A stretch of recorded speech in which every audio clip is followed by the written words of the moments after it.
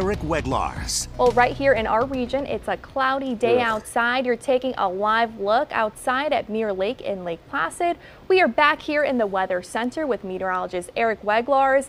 Eric, it's gloomy out there. No, yeah, it's not really the best finish to the Friday, right. so to speak. I mean, we could have sunnier days like yesterday, mm -hmm. but mm-hmm. today, no. That's not such the case. And we're dealing with more rain as we go through the weekend, believe it or not, even some snow as well. So we'll show you the latest look for the flood alerts. Lake Champlain still under a flood warning. This will go on actually for the foreseeable future here, at least into the middle of next week. And this is the latest check of the lake levels themselves, just over 100 feet from Port Henry North through Burlington and Rouse's Point. And notice the wind direction today. This is where it's going to be a little bit of a problem later on this afternoon. We think there'll be some splashover flooding along the southeasterly facing shores of Lake Champlain here, so keep that in mind. Uh, the Champlain Islands and then even through Plattsburgh points north are at the greatest risk for some flooding. And as we go towards the north, the Richelieu River and Lacolle also still a moderate flood stage as well. So the expectation is for Lake Champlain to continue to rise through the weekends.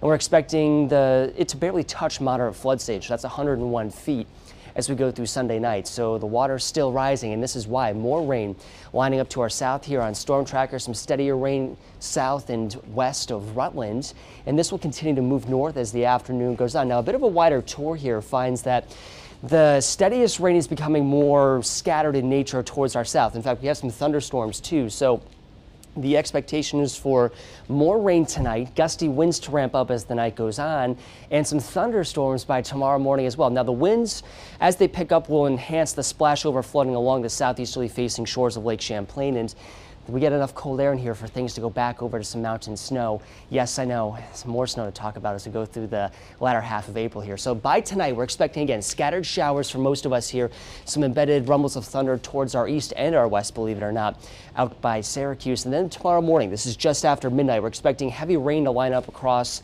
southeastern Vermont. And this is where the axis of heaviest rain will continue to move through through much of the morning hours.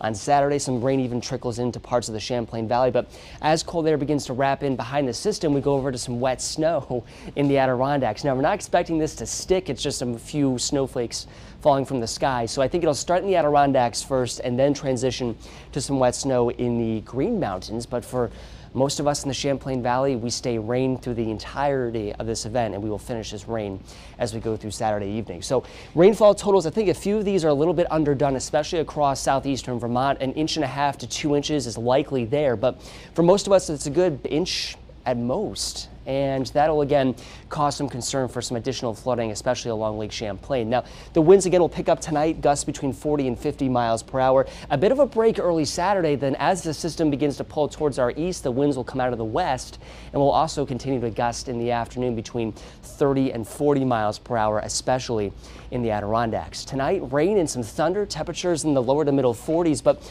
notice what's happening in Saranac Lake. We already get enough cold air in there tonight where we could go over to some wet snow by early tomorrow morning. Now, these are the highs tomorrow. This is early in the morning. The middle and upper 30s across the Tri-Lakes, that's where the mountain snow threat will be enhanced. The middle 40s, though, along Lake Champlain on the New York side and the Vermont side as well. 48 in Burlington, the middle 40s across the Northeast Kingdom, but right around the freezing mark as you head into the Green Mountains, and that's the case for much of central and southern Vermont as well. So five-day forecast, we go back to the 50s Sunday, a few more showers pass on by to our south. Monday is very, very nice. Temperatures in the lower 50s, plenty of sunshine before a few more showers again on Tuesday.